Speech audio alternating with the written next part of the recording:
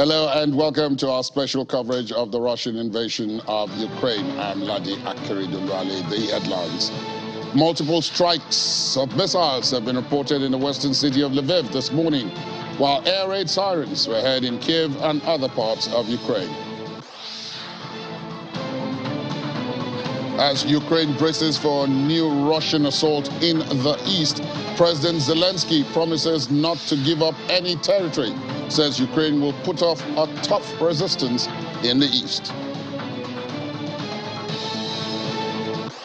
And dog therapy brings solace to displaced Ukrainian children.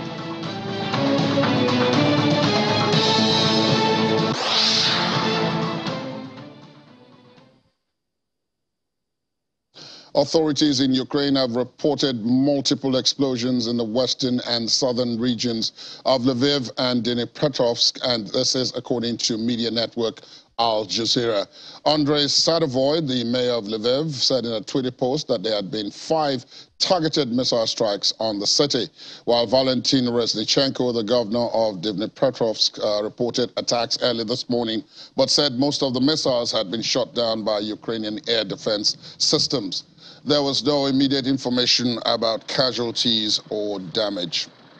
In the meantime, Ukrainian President Volodymyr Zelensky has said that Ukraine is not willing to give up territory in the eastern part of the country to end the war with Russia and is preparing to offer tough resistance in the face of an expected large-scale offensive in the east.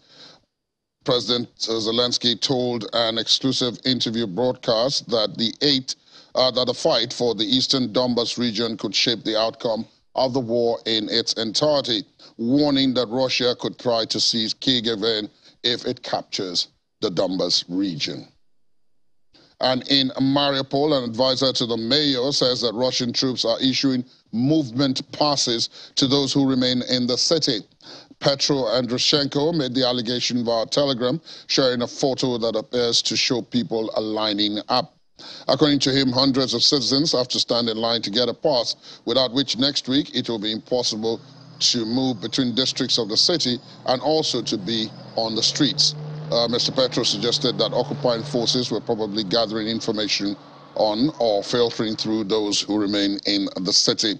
Russia claims to have control of most of the city, with Ukrainian defenders uh, reportedly contained to a sprawling industrial area called the Azovstal Steelworks.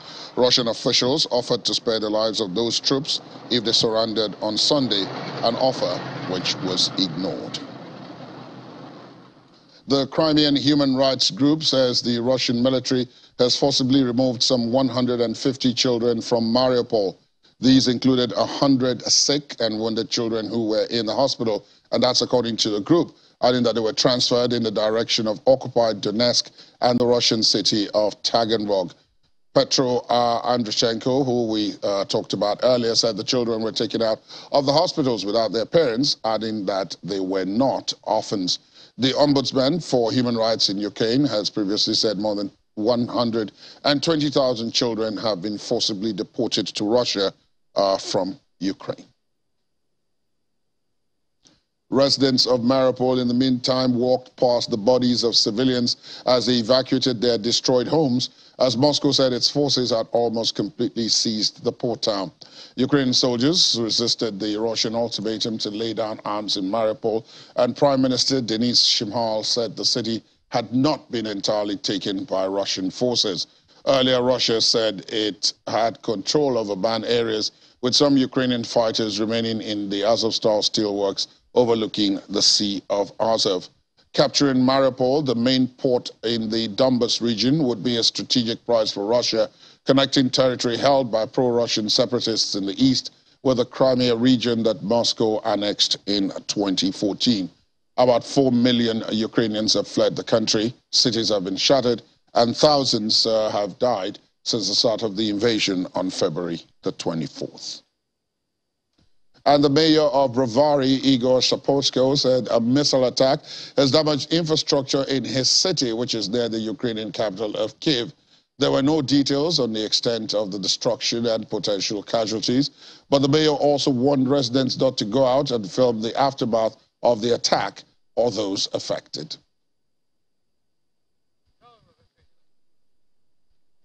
Russian troops have again shot down a Ukrainian military transport plane near Odessa, which was carrying weapons supplied by the Western countries, according to Russia's Ministry of Defense. The spokesman, Igor Konashenkov, told a news briefing that a plane was used to transport a large amount of weapons supplied by Western countries uh, to Ukraine. Russian Foreign Ministry spokeswoman Maria Zakharova said that the Russian Foreign Minister had sent a diplomatic note to all countries including the United States, regarding arming Ukraine.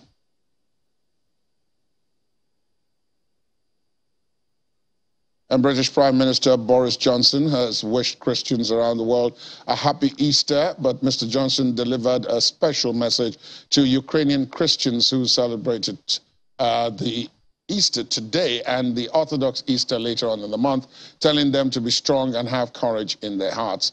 His message comes as tensions in the port area of Mariupol remain high. Russia gave holdout soldiers an ultimatum to lay down arms in the southwestern city, which Moscow said its forces had nearly completed control of in what would be the biggest capture of the nearly two month old war. And good over evil. Those around the world facing fear of persecution, forced to celebrate their Saviour's rebirth in secret. And of course, the Christians of Ukraine, whether they're marking Easter today or its Orthodox equivalent later this month, for whom Christ's message of hope, the triumph of life over death and good over evil, will resonate this year perhaps more than any other. Easter tells us that there is light beyond the darkness, that beyond the suffering lies redemption.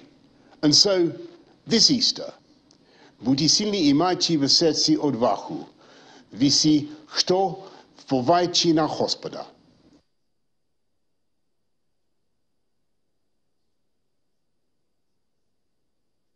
Let's talk now to Charles Adeogun Phillips. Mr. Phillips is a former international criminal court prosecutor who joins us uh, virtually. Good morning to you. Thank you for your time.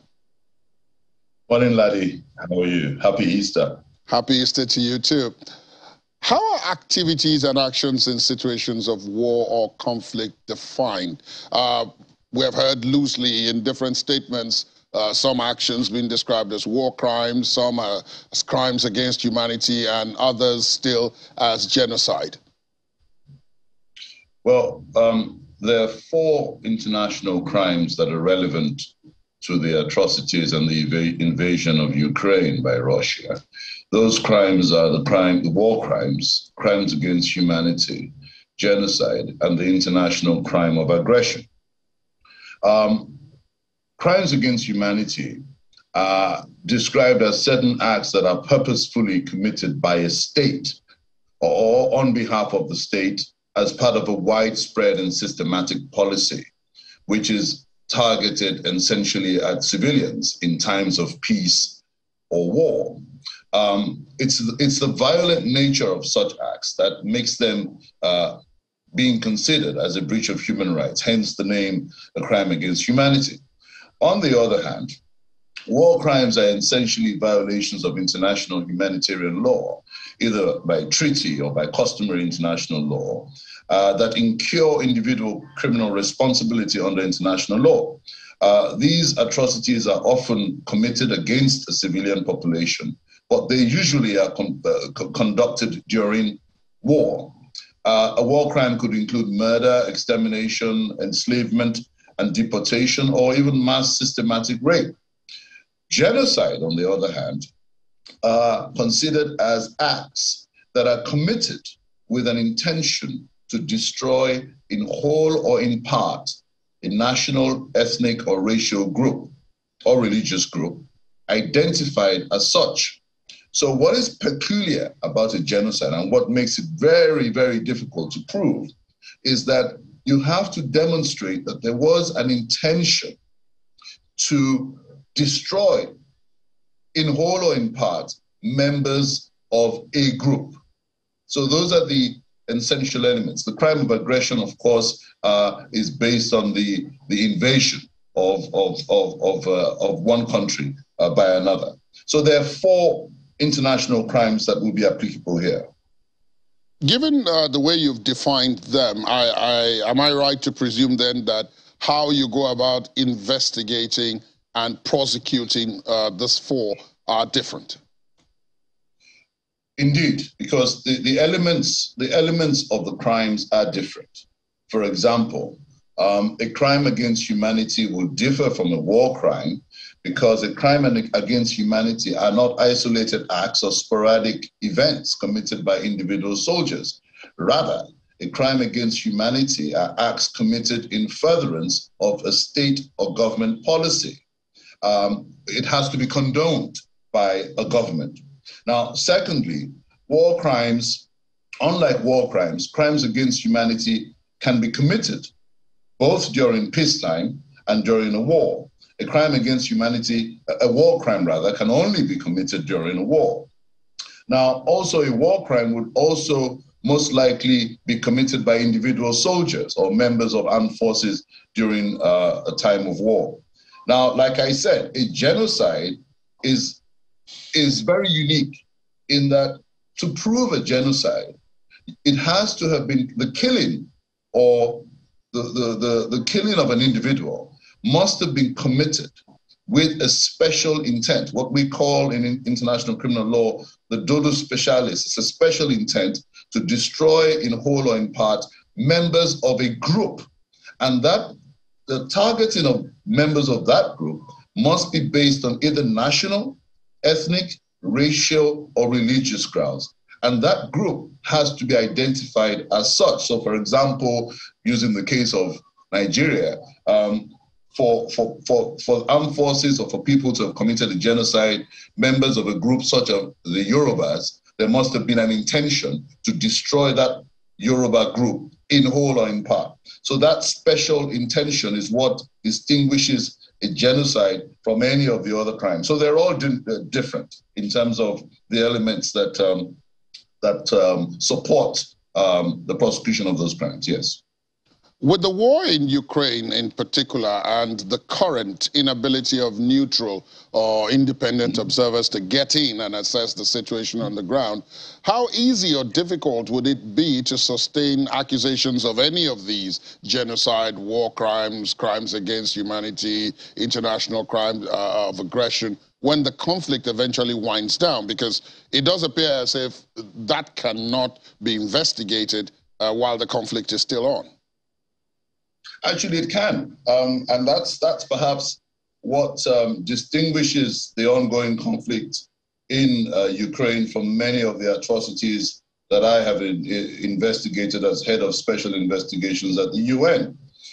The investigation of violations in an active conflict, which was previously life threatening, has now become a lot easier thanks to what we call open source investigation techniques. Now, you wouldn't believe how easy it is in the days of digital mobile phones, digital equipments that are uploaded on social media by combatant, combatants themselves.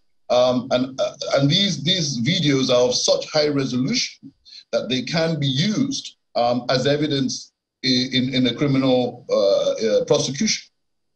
But more importantly, there is an increased use of satellite uh, imagery uh, satellite imagery, as, as we've seen in, in this conflict, has been used a lot. When we when we investigated um, the Rwandan uh, conflict 25 years ago, there was very limited use of satellite imagery, uh, and uh, you know uh, France and the U.S. had that, and we had to rely on the U.S. government to supply us with satellite imagery. But that that now is readily available. Drones are flying all over the place. So it's it's uh, it's actually very possible these days to actually capture um, events that are occurring real time.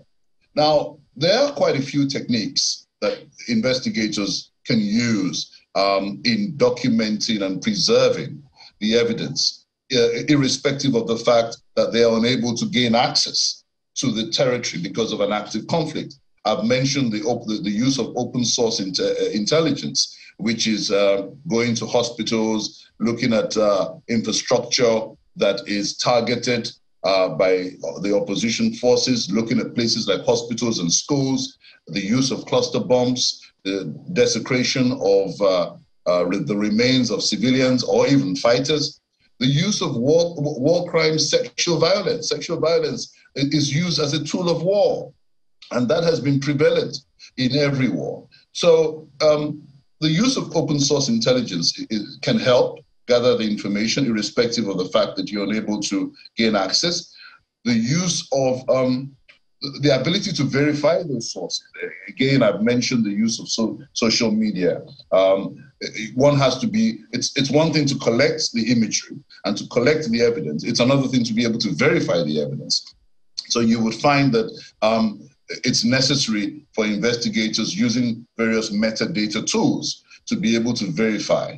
But it's also important for investigators to be able to archive um, this evidence. Because you see, um, like I said, they, they, they, exist on social media and they can be deleted by Twitter, by Facebook, just like that. So as, as you come into, uh, as you gather the evidence and you find the evidence, you then archive it.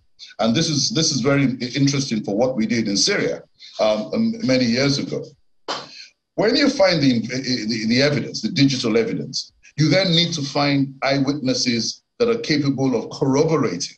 So it's one thing to find um, a video going around of soldiers doing things or bodies lying in a place. You'd now need eyewitnesses to be able to, to corroborate and to speak to those to those videos.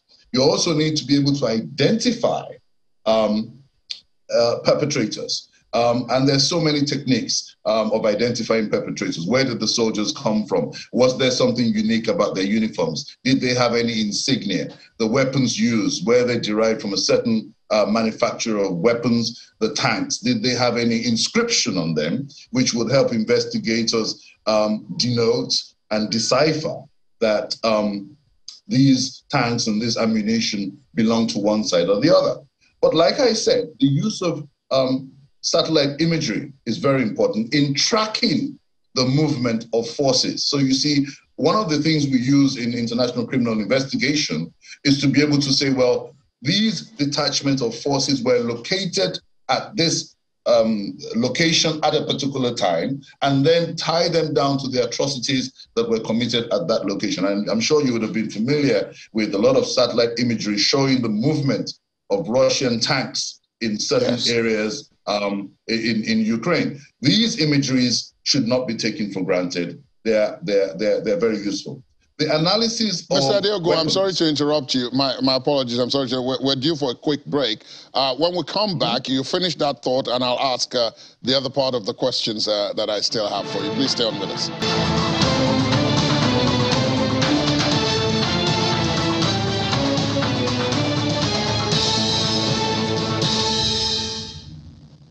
Thanks for staying tuned. Uh, Mr. Charles Adeogun Phillips, former ICC prosecutor, is still our guest uh, from uh, uh Victoria Island here in Lagos, joining us uh, virtually. Uh, Mr. Adeogun, before Phillips, before the break, you were just concluding the fact that, you know, it's one thing to gather the material, it's another thing to verify. But even there, with verification, there are tools that can help. and how you go about using those tools will also be critical uh, to how the matter is eventually uh, proceeded with. But crimes of this nature uh, are prosecuted, investigated by the ICC. Uh, but a number of the parties in this particular conflict, uh, talking about the one in Ukraine, they are not signatories uh, to the Rome Statute, which set up the ICC.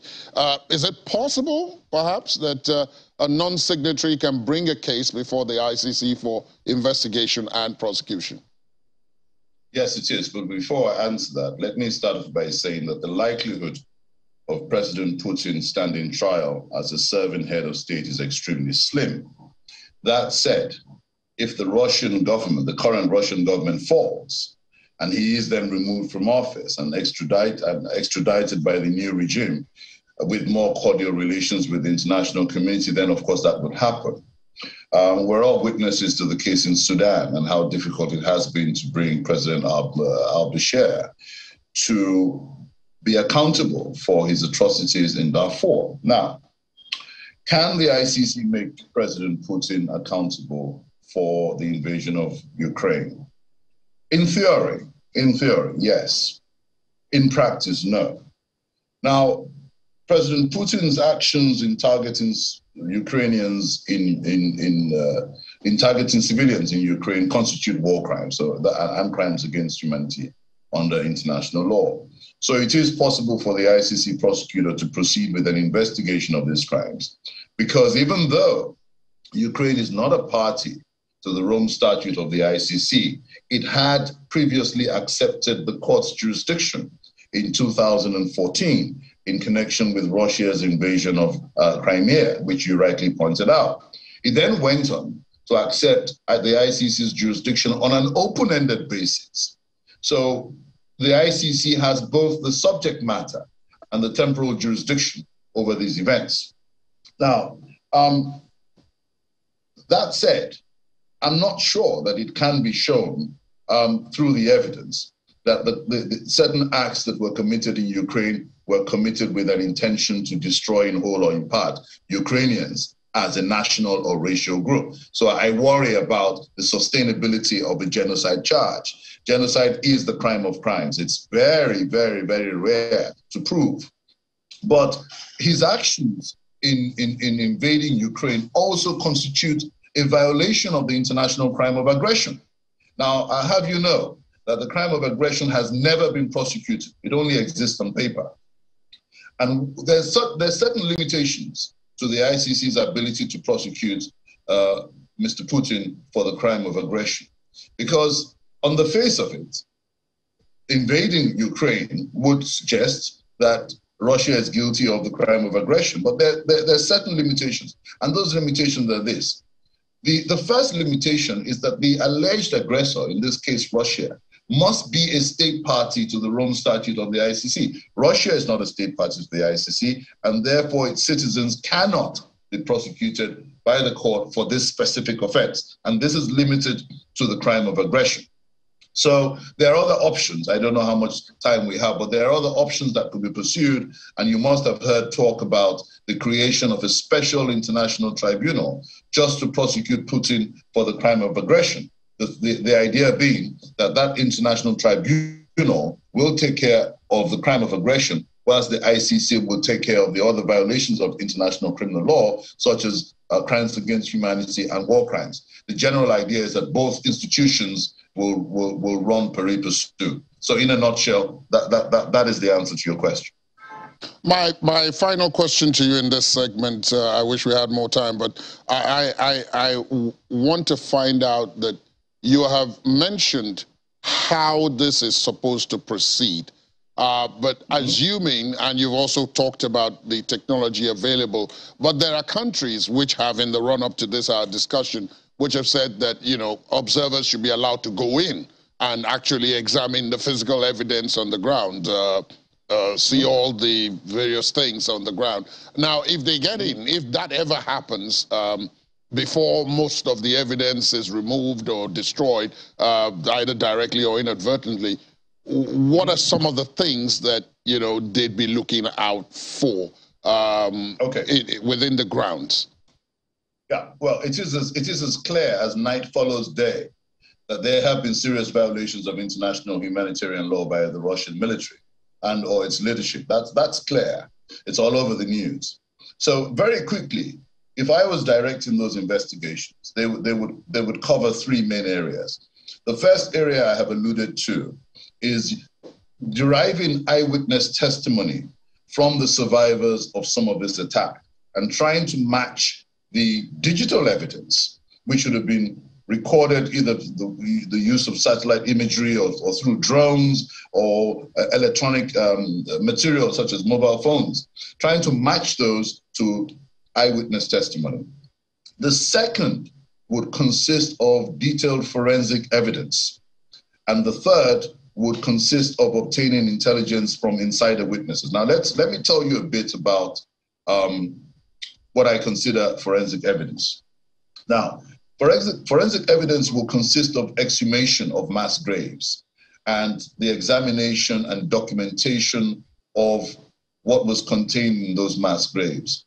When I was um, involved in the Rwanda genocide, one of the first things that we had to do upon taking on that job was to be present as forensic examiners would dig up mass graves. And the whole, the whole idea was to be able to identify as prosecutors who the victims of those crimes were by virtue of their sexes, the clothes they were wearing. Luckily for us, the soil in Rwanda was so rich, so the bodies had not decomposed to a state where we couldn't recognize them. And we were able, we, with the assistance of eyewitnesses who could identify their relatives or the remains of their relatives in these mass graves, we begin to start to pick, pin together a picture of what took place in a particular location.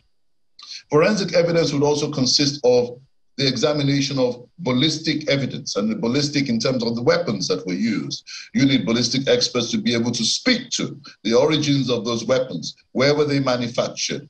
Um, who, who, who, are they banned uh, by the UN? Where, where, what's the country of origin? We would need the help of NATO allies to be able to examine this. But more importantly, is the use of satellite imagery. Satellite imagery, with the help of NATO allies, will help locate the movement of Russian forces at a particular location at a particular time, and that would enable investigators to be able to tie them to the atrocities that took place um, at that location. Indeed, uh, but all of this, of course, uh, is for those who are waiting and prepared to do this. Uh, but we'll have to wait and see, uh, uh, uh, Mr. Adeogun Phillips. Thank you so much mm. for for the perspective. We'll bring you back when we have a lot more facts and less heat uh, about this uh, to talk about what is going on then. For, for now, thank you so much for your time this morning. And once again, uh, compliments of the season. Thank you. Let's talk uh, next to Major General Pat Akem, who is a security expert, uh, leadership and strategic consultant. He joins us uh, from our Abuja studios. Uh, good morning, uh, General Akem. Thank you for your time. Compliments of the season to you. Thank you, Larry. Com compliments. And thank you so much for inviting me. In our own discussion, I, I want us to focus a bit on the strategy here. Um, the Ukrainians are putting up uh, stiff defense, as is expected of anybody defending his or her country. Uh, the Russians have pulled back uh, to particular areas, but there are some other areas uh, that they're not giving up. For example, the port city of Mariupol, and um, they're also occasionally still dealing blows uh, on Kiev itself, which is the capital of the country. It, it, do you, as a military man, do you see a strategy in all of this? Uh, is there a way of looking at this uh, for it to make sense? Well, you see, this this uh, war, even though Putin does not call it war, uh, looks like the case of David and Goliath in the Bible. Um, if you look at the armed forces, the composition, you will discover that uh, Russia is the second largest military force on earth, second only to the United States of America. How does Ukraine rank? Very far down the ladder. Um, for instance, uh, uh land forces, the army, the Russians have about 900,000, Ukrainians 250,000. So to hold the ground the way they are holding, you will think you will conclude that something has gone wrong maybe there was an overestimation of what the Russians were to do. Uh, so, from a strategic point of view, uh, it will appear that uh, failing to take this, the, the capital the way they wanted within two days of invasion uh, to destroy the Ukrainian armed forces, remove the government, install a government that was maybe more conducive to the thinkings and the plannings of the Kremlin, uh, it looks as if that has failed, and uh, Russia is trying to, to play the second card, which perhaps is limited now to the eastern part, where you take the Donbass region, control it, deny Ukraine access to the Black Sea, and then maybe later on, again, move on the capital if uh, the conditions permit. But right now, it looks like the Ukrainian forces are holding their ground and uh, I must quickly say that, you know, if there is anything that can serve to fortify and um, push troops to do something the way the Ukrainians are fighting, is hatred. Hatred that comes as a result of uh, the atrocities that are being alleged to be committed in war, uh, rapes, the feeling of patriotism so that, that hatred becomes a treasure, and I think that is what the Ukrainian forces and the, the citizens are, are using. So basically, Russia needs to rethink its strategy, and I think they are doing that. They are trying to scale it down and limit their objectives. Now, you've talked about from the Russian side. I want to take a look at this from the Ukrainian side now. As you said, um, at the beginning of this conflict, the Ukrainians were definitely the David in the equation, and uh, very few people expected them uh, to come this far with this kind of uh, resistance, uh, particularly against a country like Russia. But they have. They've had support from uh, some of the key countries in the West, uh, the United States, Britain, and the EU have sent them a lot of weapons. They're still asking for a lot more. But if you if you were if, if you were the Ukrainian leader and have the situation as you have it on the board uh, now, do you think he is in a good position or that the country is in a good position now to go for negotiation? Because so many people have said every day that the war goes on, the country gets more and more destroyed. Uh, its infra- infrastructure, its people, and all of that are, are deeply affected. That where it is now, is, does it have enough leverage to go for negotiations given the kind of resistance that it has put up? Yeah, uh, uh, thank you very much. I think President Zelensky has not hidden his desire to, to negotiate. The only condition that he, uh, red line, no go area, is perhaps to give away part of his territory. He has consistently maintained that no inch of the territory called Ukraine will be given out.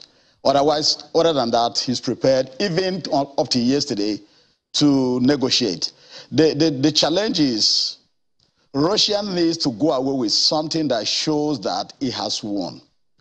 When you are the second largest armed force in the world and you come against a small nation like Ukraine with its armed forces, you want to exert a price that saves face, saves your face, that shows that you are still a big player. So, yes, Ukraine is prepared to negotiate, but what will Russia accept? Russia wants, at least in the minimum, from what I've read and from what I've observed, in the minimum, to hold the eastern part of Ukraine create a land bridge, and then deny the Ukrainians access to the Red Sea. And I want to quickly add that what I'm seeing is going to result in a battle of attrition where the Ukrainians keep fighting and the Russians keep fighting. Now, if this thing goes beyond a year, the question will arise as to whether the international community, American, NATO nations, supporting Ukraine, whether they will keep on sending the resources, because without those resources, Ukraine cannot survive. Uh, would that be possible with, with the uh, Americans lose interest, especially if Congress changes hands and the Republicans take over? And of course, we've seen from their voting concerning Ukraine, the, uh, concerning NATO, that they're not too, uh, too keen about it. I mean, the last week, 62 Republicans voted against the, the motion to to strengthen uh, NATO. So if that were to happen, with the Ukrainians still fight? I would say yes. On a scaled down level, uh, the battle of attrition will go on. They will get the, the Russians bogged down for a long time. So basically, I think Ukraine, uh, uh, Zelensky wants to negotiate. With Russians accept the conditions that he's giving? Uh, it's an open question, but I've got, looking at Putin's statements and body language, I think no. So there is a time, there's a time schedule to all of this. Um, I, I, apart from all the other considerations, there's a time schedule, and politics will come to play a role in all of this, especially the politics of the supporting countries uh, to Ukraine and uh, even those who are not supporting Ukraine uh, it's a function of time. That's what I get from what you've said. But then that then moves on. Uh, we have heard before that the whole idea is for Russia to get bogged down and that the Western powers want to, quote and unquote, bleed Russia enough uh, before they you know, support uh, President Zelensky uh, to go back to negotiating uh, when they believe that Russia is sufficiently weakened. In the long run, considering the other people or the other countries that are planning or have now resumed planning uh, to move westwards, the likes of Sweden and Finland, uh, at the end of the day, is this are we not going to have uh, a sense of deja vu when this keeps repeating itself? I, I, think I think that uh, you know when you stay in power for too long, uh, uh, President Putin has been there for 22 years. It gets to a level where you begin to think you are invincible, that you are some kind of god, that you can do anything. I think he has miscalculated. You, you, you, Ukraine had no chance of joining NATO. They, are, they, they were turned down some years ago, about 10 years ago. Um, you come up with a contrived reason to fight, and you, you, you say it's because they're trying to join NATO. But there are other nations, the Baltic nations, uh, um, Croatia, North Macedonia, um, um, Latvia, Lithuania, and, and a host of others that are within the region and are members of NATO. So you are now increasing the number because everybody is afraid now if we do not join NATO, Russia has the tendency to invade. I mean, 12 years ago they invaded, invaded uh, South Georgia. Uh, they, have been involved in, in Syria. So you, you, you made nations to become afraid and they are now moving away. Uh, it's been a miscalculation. And I, I, I agree with you totally that the idea is to lead Russia to a point where they can no longer, already, already they've been demystified. Uh, I can tell you on the with all, all sense of, uh, with, uh, tell you that if it were conventional war between Russia, NATO, those NATO nations will overrun Russia within, within months. From what I have seen, without, without conventional, without the use of nuclear weapons. So I think that it, has played into the hands of nations that want to withhold down its powers. And if I were uh, advising Putin, uh, you take the best price you can take, cut, and then maybe re-strategize. But the way it is going, of course, maybe he's waiting for NATO to crack. Because if uh, Marine Le Pen wins the election in, in France, her agenda is different. Um, Viktor Orban of Hungary, his agenda is different. So perhaps to crack NATO apart and then maybe uh, continue to exert the influence, the hegemony he wants to exert within the region. But basically, the other nations want Russia's power and influence whittled down to the barest minimum. And, and, and the sanctions are devastating. It, in about two years down the line, the, the effect of the sanction will become terrible, terribly devastating, and uh, uh, Russia will begin to feel the, the pinch of its actions. Indeed. Uh, General uh, Akem, we will bring you back to take a look at this uh, in, in the near future. But for now, it's uh, just enough for me to say thank you so much for your time on this Easter Monday and wish you uh, the rest uh, of uh, the day to be good. Thank you so much for your time. Thanks for the honor. Thank, thank you so much. Business is partially resumed in food markets in Kiev, the capital of Ukraine, after Russian troops pulled back from the city in spite of warnings from Moscow that it might strike again on the capital following Ukraine's cross-border attacks. Half of the shops in the Troshny marketplace, one of the biggest markets in Kiev, are closed due to the Russia-Ukraine conflict that broke out on February the 24th. But the stalls run by Alan Menchek and Alexei Klushik stay open. They say they want to be present and deliver a message that people should help each other during the toughest of times. The Troshny market used to be a popular spot for residents getting their daily food and other necessities. But due to an interruption in deliveries, consumers only had very little selection when it comes to basic foods like onions and potatoes. Vendors say as the roads to Kiev have been reopened now, more food options are slowly making people return. Still ahead on the program, Swiss sports minister calls on International Olympic Committee to suspend officials from Russia and Belarus. Please stay with us.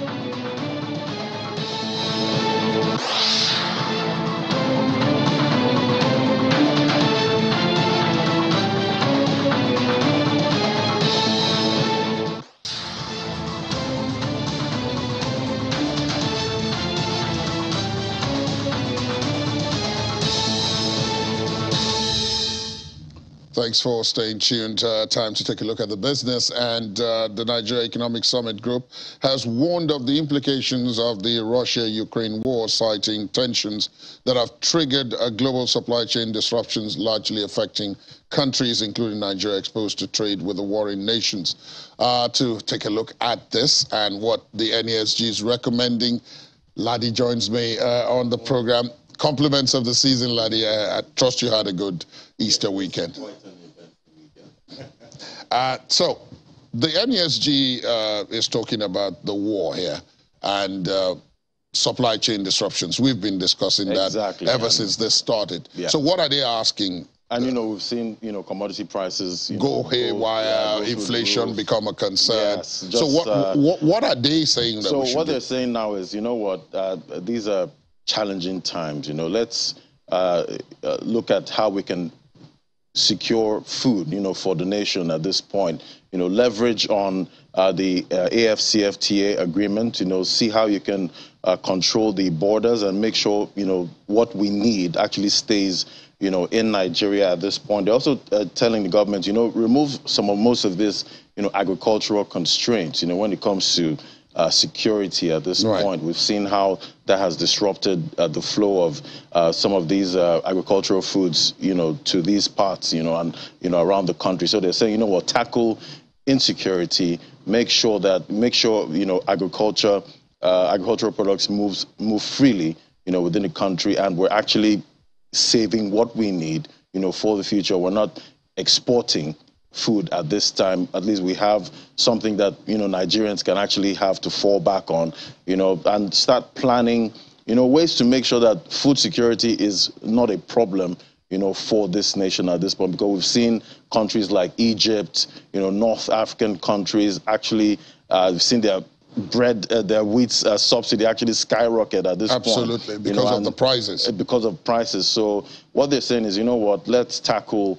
you know, agriculture at this point. Let's make sure uh, we leverage the AFCFTA agreement to make sure that our trade, you know, goes well. And, you know, obviously we trade with these warring countries.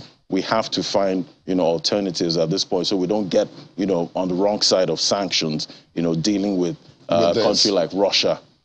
Now, uh, this is week nine. Uh, hardly anyone thought that uh, this war would go on uh, this long either way. But uh, in the in the UK, furniture prices are headed up as well. Yes, because of well, they're warning that okay, we're seeing timber prices actually uh, rise at this point, and that's one of the major inputs, you know, for uh, sofas and uh, furniture in the UK. And they're saying, you know what, consumers should brace for higher prices you know, at this point because we're seeing the war actually disrupt, you know, flow of uh, timber, you know, to the UK at this point because and the prices of timber actually going up. So at, at that translates to higher prices, you know, for uh, furniture. We're also seeing energy costs. You know, prices yeah, also actually, go up I have that point. here. That uh, yeah. again, three week highs. Three What's driving high. that now? So at this point is is supply disruption. We're seeing, you know, uh, the the West actually more and more sanctions, you know, and try to wean off Russian oil and gas at this point. So, you know, the, you know how the market reacts. Once there's a disruption, the market prices that into, you know, uh, oil prices and the price of gas. So we're seeing prices actually elevated this morning with oil. Oil, Brent oil hit about $112.79 uh, a barrel this morning. And obviously, once oil goes up, we're seeing energy prices rise. That domino effect almost immediately. Almost immediately. It, it, it, doesn't take a second. The markets react immediately once there's a disruption, you know, with uh, Russian supply at this point. Bitcoin, uh, on the other hand, it's a bit muted in its reaction. Yeah, we, have seen. Prices. You seem surprised by that because yeah, I was. Because at the end of the day, you know, traders were saying, "All right, this weekend we could see some kind of relief rally." You know, but we didn't see that. We didn't see any relief rally. We saw Bitcoin price range, you know, between uh, the 40 and 41,000 range. But now we have a major pullback this morning, and it's it's basic uh, basic you know economics at this point. You know, once there are uh, any uh, uncertainties, we see uh, traders run away from risky assets, and we obviously we know uh, crypto is a very uh, risky, risky asset. asset class, you know, at this point. So we've seen uh, the price pull back at this uh, this morning. It's down to about thirty-eight thousand dollars, you know, from uh, from forty-one on Friday. Yes, on Friday. So we see the kind of big swings, you know, in that market. It is expected, but we see our, our, U.S. markets are closed at this point for the holidays. The Nasdaq is closed, but obviously, when we're, we're expecting a pullback on opening, and the crypto market is already leading the charge, you know, with the pullbacks at this point. So uh, it's going to be quite an interesting week, you know, for the markets. Interesting you know, uh, is one traders, way to describe it. yeah, traders need to brace up. It's going to be quite uh, a seesaw movement you know, we're expecting in the market for this week. And just before I let you go, the, the, last week Friday, I was talking to Ini about beauty and the shops, L'Occitane, exactly, which decided that it wasn't going to uh, close its shops in Russia uh, because of its stuff. Right. And they had to take a U-turn because uh, if you go on Twitter, there was a, a, huge backlash on social media. You know, most of the customers were disappointed. They say, "How can you uh, see what you know Russia's doing, you know, to the Ukrainians, and you still want to keep on doing business with them?" And you know, there was a lot of backlash. We saw uh, customers in, on on Twitter there, you know, saying they're disappointed you know, in the brand. And obviously, we know how brand perception is is quite is important. You know, you don't want your brand perceived in you know a negative way. And you know the the customers were saying you know what? We're going to boycott you know your your products at this point. So uh, we saw uh, actually take a U-turn and say you know what? We're going to uh, stop you know most of our businesses in Russia. The board you know took that decision quickly you know on Friday. And uh, we've seen the effect of that. And they're actually moving ahead to pull out at this point. They don't care about uh, saving those uh, workers at this point. They're it's not. all about the brand right now. It's all about the brand. Thank you, uh, Ladi, and uh, again, compliments uh, uh the season. season. Thank you so much. Thank you. Let's talk some uh, sports here, where the Swiss sports minister Viola Amherd has written to the International Olympic Committee IOC to suspend officials uh, from Russia and Belarus. The IOC had recommended that international federations ban athletes and officials from both countries from their competitions after Russia had invaded uh, uh, Ukraine. However, the positions of Russian IOC members Shamil Tarpishchev and two-time Olympic pole vault gold medalist Yelena Isinbayeva have remained unaffected. Russian and Belarusian officials are also permitted to continue serving on IOC commissions.